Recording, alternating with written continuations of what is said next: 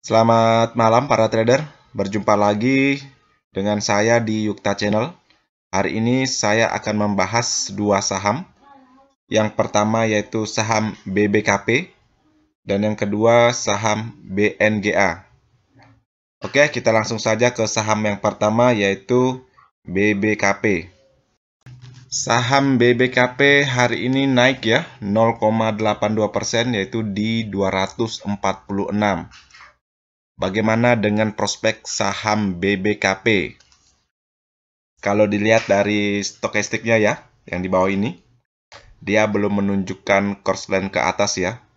Dia masih lurus e, berjalan di area oversold, itu artinya saham ini belum menunjukkan tanda-tanda rebound. E, senada dengan candlenya ya, dua hari terakhir ini. Dia belum menunjukkan tanda-tanda rebound uh, dua kekuatan yang sama ya di antara buyer dan seller yaitu masih menunjukkan uh, doji ya. Dua doji ini berarti masih menunggu konfirmasi ya. Kemungkinan besar yang ditunggu konfirmasinya adalah konfirmasi uh, hasil RUPS luar biasa ya, yaitu tanggal 23 bulan 3 2002, yaitu besok ya. Kalau besok eh, RUPS luar biasanya menghasilkan berita yang baik ya, kemungkinan besar saham BBKP ini akan naik. Kalau dilihat dari berita ya tentang saham BBKP ini, uh, katanya saham BBKP ini akan meluncurkan uh, bank digital ya. Semoga saja saham BBKP ini ikut meramaikan persaingan di bank digital. Oke, kita tentukan support dan resistennya saham BBKP. Kalau dilihat dari supportnya ya, yaitu di 244 eh, dan yang kedua itu 228 merupakan support yang cukup kuat ya karena di uh, support ini saham BBKP menunjukkan uptrend ya sampai di harga 302 ya. Di sini menunjukkan morning star ya. Dan akhirnya naik dan turun uptrend lagi ke bawah. Kalau saya perhatikan peluang di saham BPKP ini sangat tinggi ya.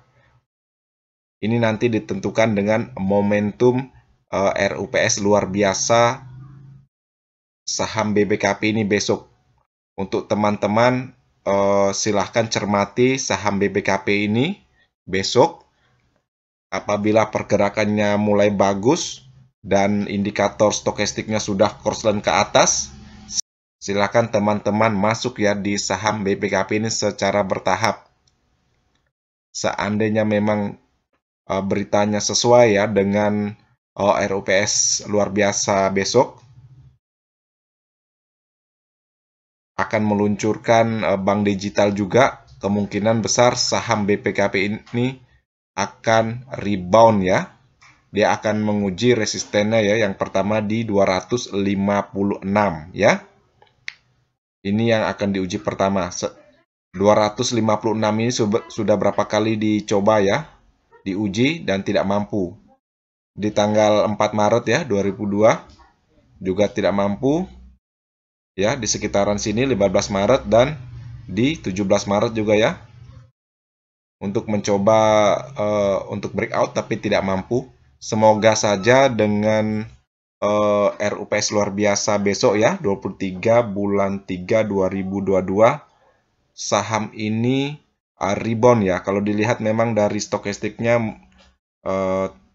tanda-tanda uh, ya.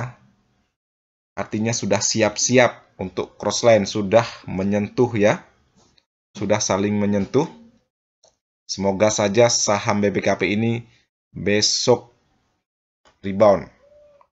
Dilihat dari uh, laporan keuangannya memang saham BBKP ini masih biasa saja ya. Belum menunjukkan tren positif. Kalau dilihat dari uh, perdagangan terakhir untuk asing dia net sell ya 12,39 billion. Sekian pandangan saya tentang saham BPKP ini. Oke, kita lanjut saja ke saham yang kedua yaitu BNGA. Saham BNGA hari ini koreksi 0,46% yaitu di harga 1075. Bagaimana dengan prospek saham BNGA? Kalau dilihat dari indikatornya, saham BNGA menunjukkan crossline ke bawah ya. Dari area overbought-nya sudah menuju area tengah itu artinya untuk yang trading di sini uh, silakan hati-hati yang sudah mengambil harga di bawah. Silakan take profit ya sebagian.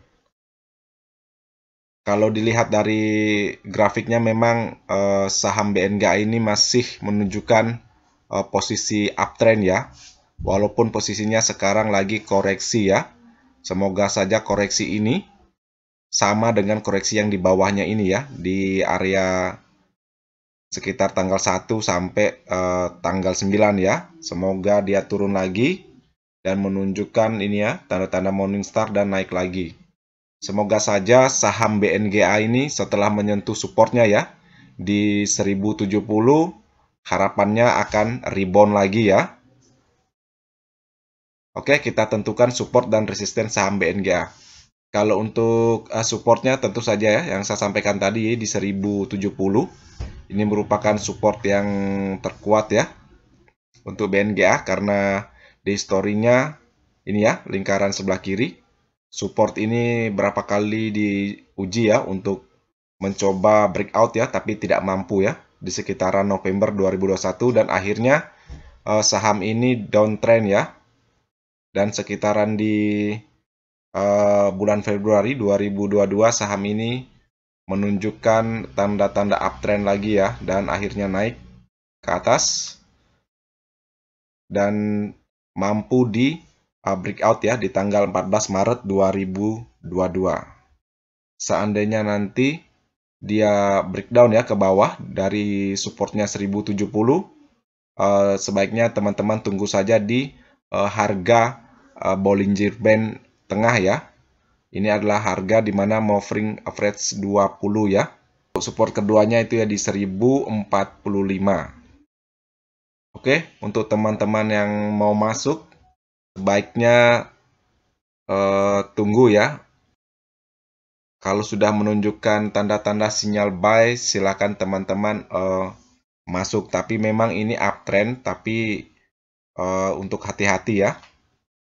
Karena posisi stokastiknya sudah crossline-nya sangat panjang ya ke bawah. Ini artinya siap-siap turunnya agak panjang. Tapi nanti kalau dia di pertengahan menunjukkan uh, balik lagi ya seperti posisi ini yang 10 Maret ya.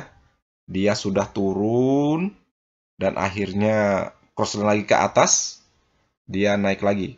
Apabila sudah turun begini dan crossline ke atas, teman-teman cermati menunjukkan tanda-tanda sinyal buy, silahkan teman-teman masuk. Contohnya yang ini, ini menunjukkan uh, Morningstar ya di sini. Di sekitaran 9 Maret dan 10 Maret ini ya, sudah menunjukkan Morningstar. Uh, saham ini balik uptrend lagi ya. Dan semoga saja uh, saham BNGA ini menunjukkan tanda-tanda uptrend. Dan semoga saja saham BNGA ini rebound kembali kalau dilihat dari laporan keuangan 2021-nya, eh, saham BNGA ini sangat baik ya bila dibandingkan dengan eh, laporan keuangan 2020. Eh, saham BNGA ini juga sangat rutin ya bagi dividen. Eh, sekedar informasi, saham BNGA ini akan RUPS ya bulan depan tanggal 8 bulan 4 2022. Semoga saja uh, di hasil RUPS-nya memberikan dampak positif ya, terutama informasi tentang pembagian dividen.